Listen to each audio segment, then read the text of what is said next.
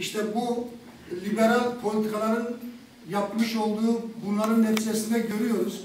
Ve diğer taraftan maden ocaklarında işte 18 tane canı e, yaklaşık e, bir aya yakın zaman içerisinde işte öyle bir iktidar ki istediği zaman istedikleri zaman uçaklarını ve saraylarını yapıyorlar. Dünyanın parasını aktarıyorlar.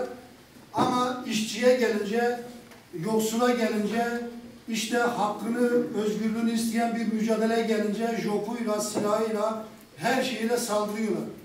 İşte buna karşı bizim halklar olarak, bizim ezilen olarak köylüsüyle, Alevisiyle, Kürdüyle, hatta Türküyle yani şimdi bizi Türk, Kürt, Alevi olarak ayırıyorlar ya. Aslında biz bu tabanda ezilen insanlar olarak bütünleşmek zorundayız. Örgütlü yapımızı oluşturmak zorundayız.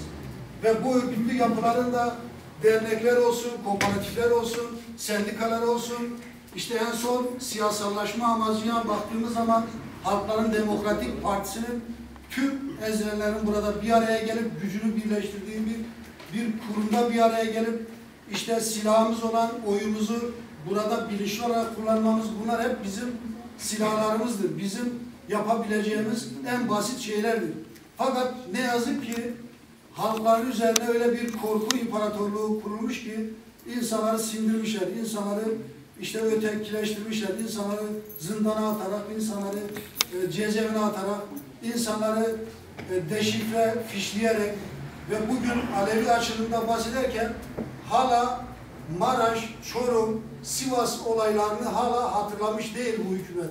Bu algıyı daha anlamış değil. Alevliğin e, nasıl tarif edeceğini kendileri Alevi'yi tarif etmeye çalıştıkları bir sistemle karşı karşıyayız. Yani siz kim oluyorsunuz ki? Alevi'yi siz tanımlıyorsunuz, siz Kürt'ü tanımlıyorsunuz, siz emekçinin o kanı üzerinde pazarlık yaptığınız